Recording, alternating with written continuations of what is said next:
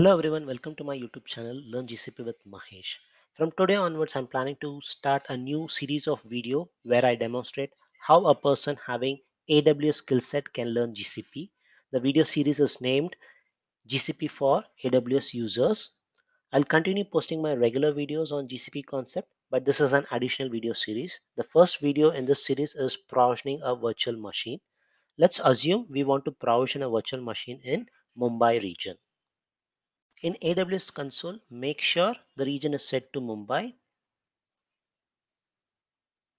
And in GCP console, there's no action required for setting this because this action will be done at a specific virtual machine level. To provision a EC2 instance, click on EC2 in your AWS management console. And in GCP's web console, click on the hamburger menu, scroll down to compute and you'll see compute engine click on that. Now coming back to aws console click on launch instance. The similar equivalent button in gcp console is create click on create. And since we are using free tier in both the web console i'll be preferably using free tier only. And in aws console we'll choose a ubuntu instance. Click select and in GCP what we can do is we can select that machine type boot disk by clicking on change. Select the operating system as Ubuntu select. So that's the step first step. The second thing is in AWS we are choosing T2 micro which is one vCPU one memory. The equivalent that equivalent of that in GCP is you need to click on customize in the machine type and make sure the memory is set to 1 switch back to basic machine type or basic uh, view and you should be getting that same stuff. The next step is click on configure instance details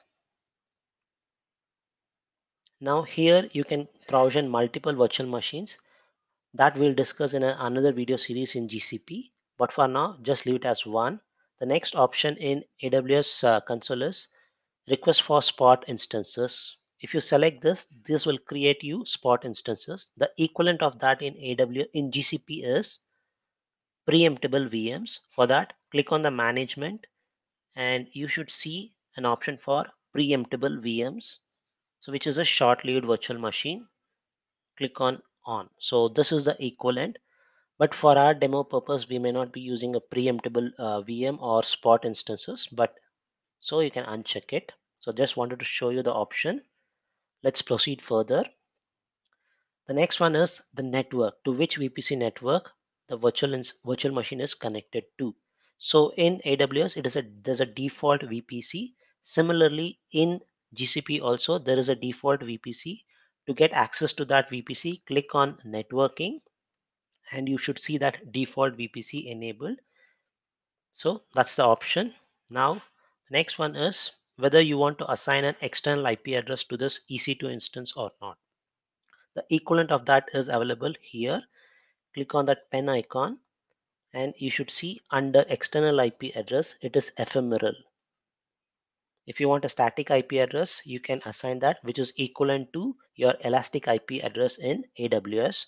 So let's leave it as ephemeral.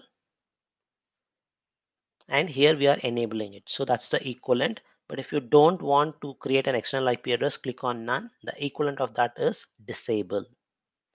So let's enable it back. The next option under AWS console is IAM role.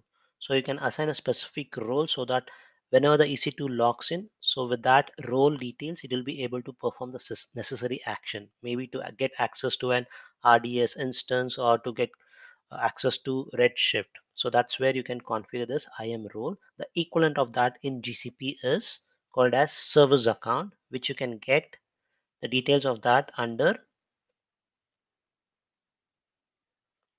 service account. By default, there's a role already created. It is called as compute engine default service account. So whatever you want to give, you can give to this access to this service account. So that's the equivalent. Let's move on. The next option is shutdown behavior. Either it's stop or terminate. There's no equivalent of that in GCP console. The next option under AWS console is enable termination protection. This is to avoid any accidental deletion of your EC2 instance. You can enable this. The equivalent of that in GCP is under management, you see delete protection. Just enable this. This will avoid any accidental deletion. So that's the option. Moving on to the next option in AWS console. This is under monitoring. So enable CloudWatch detailed monitoring. This is if you enable this, the logging will be enabled and it will incur additional charges. The equivalent of that is available under GCP under access scope. If you set on this set access scope, it will show you the various options there. One of the options is Stackdriver logging, which is by default turned on for you. The next option under AWS is tenancy, whether it's a multi-tenancy or a single tenancy option, which will explore the same thing in GCP in a, another video series. Moving on to the advanced details. If you click on this, you have an option of user data. So this is where you can key in any startup scripts like this. When the EC2 instance is provisioned, we want to update the operating system and install Apache 2 web server. That is the option. And if you want to do the same thing in GCP, you can what you can do is you can go to management. Under management you have startup script option. Paste your code here. Next let's click on add storage in aws console which shows the option of increasing your uh, storage the persistent disk for your boot disk which shows it is 8 GB of hard disk and it is a general purpose SSD and the option for this is already enabled in GCP. The moment you select a boot disk, the size of your boot disk is preset there. Minimum is 10 GB for any uh, Linux distribution, and if it's a Windows distribution, it's 50 GB. So that's set by default, and you cannot make it less than 10. That's the default one. And there are other few options where you see delete the boot disk when the virtual machine is deleted. That is the option here. The equivalent of that is available in GCP under disks where you see this this is checked by default. So once the virtual machine is deleted be it in AWS or in GCP the boot disk can also be deleted. That is the option. The next option which you see here is the boot disk is not encrypted by default but in GCP it is by default encrypted and it is using Google manage key option. So that's the option so encryption is an added advantage here. Now, apart from boot disk, if you want to add any, additional data disk, there's an option. Click on add volume. So it's basically EBS, elastic block storage. And what should be the volume you want to give? Let's make it as 20 in this case.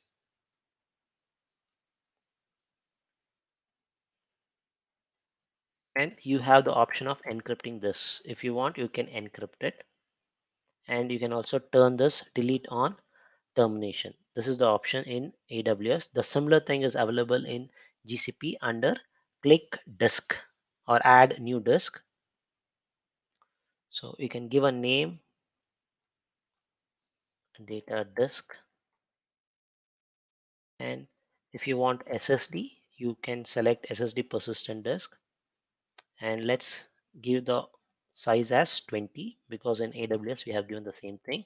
And this is the option which is equivalent to delete on termination. If you want to delete on termination select this option so that it will delete when the instance is deleted.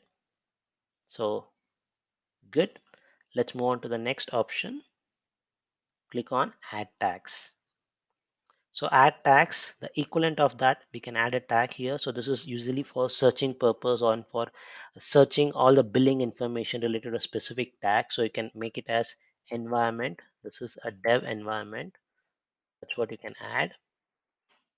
Equivalent of that is available under management. So let me first click done here yeah now let's click on the management under management you will have an option called as labels. Let me click on management. The equivalent of tags in aws is labels. So you can click on label here.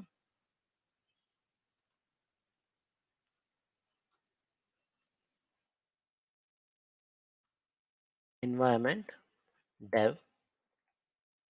And if you want to add one more thing uh, whether it's having a, a back end or a front end you can also add that by maybe adding a, a like application app. It's a web web server because we are installing apache web server. Similarly here also you can add app web server. Good. Now let's click on config configure security group The next option is configure security group. This is equivalent to firewall rules in your GCP. By default, port 22, the SSH port is turned on. This is, you can control this at a virtual machine level. And in GCP, you don't have a screen in the compute engine, but you can do that setting in firewall rules. But there are a couple of options where you can turn on specific firewall rule, one for port 80 and one for port 443 HTTPS. Let's do that here in AWS. Let's because we have already installed uh, our startup script has a web server which listens on port 80. Let's add a firewall rule port HTTP port 80 and let's allow everybody to connect to that. The similar equivalent of that in GCP is just this checkbox. If you enable that, you are all set. So I guess we have done almost everything. Let's click on review and launch. The equivalent of that here is create. When you click create, it gets created. Let's click on launch here. And if you have an existing key, you can use or you, if you want to generate a new key, you can create a new key here, demo, download the pair, and I'm good to click on launch instances. So the instance on both the sides are getting provisioned. Once the instance gets provisioned, I'll show you the screen how it looks.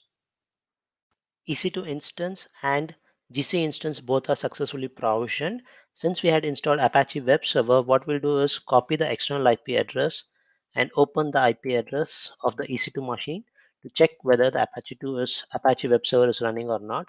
Similarly, in GCP, just click on this external IP address. It should open up your web server. So that was the first video on how AWS users can learn GCP. Hope the video was helpful. Thanks for watching.